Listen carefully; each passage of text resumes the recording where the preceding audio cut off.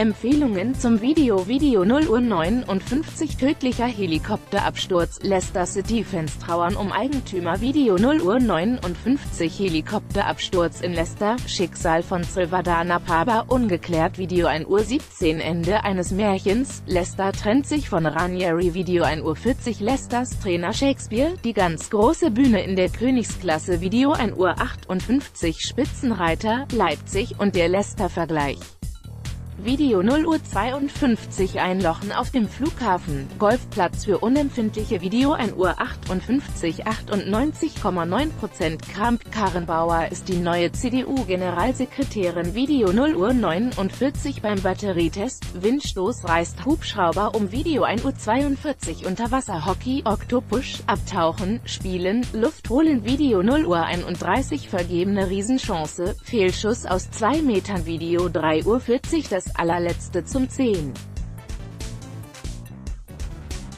Spieltag Ich bin jetzt Fan von RB Leipzig.